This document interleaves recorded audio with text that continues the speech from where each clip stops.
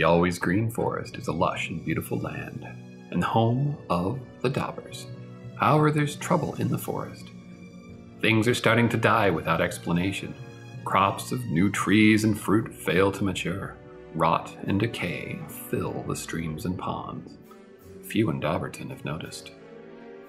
You play a hero who has stumbled upon the cause of the spreading rot an evil wood sprite. She seeks a magic key that she believes can be used to release an evil power that will fill the whole forest with decay. You must embark on a journey through mysterious locations and face terrible creatures to find the key first and stop the wood sprite from destroying your home. Hi, Darryl Jones here. I am the creator and illustrator for Dobbers Quest for the Key. It was inspired by a comic book I also wrote and illustrated over 15 years ago. I've read that comic book to my kids many times while they were younger, and it just seemed natural that as they got older and got into board games that I should continue the story as a board game.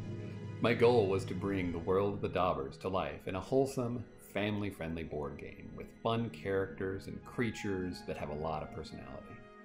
I wanted to let players gain a sense of accomplishment when they earn that cool new weapon or armor for their hero, but also understand that sometimes when they face a great challenge, there's some cost involved.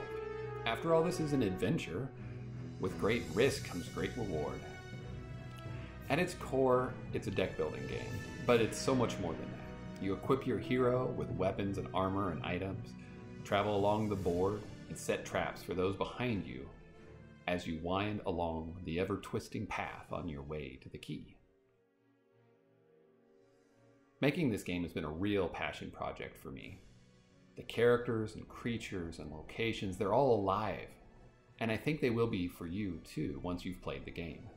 I hope you'll join with me in making this game a reality. With your pledge, I can get quality manufacturing and distribute this game all over the world. My family loves the Dobbers, and I think yours will too. Thank you.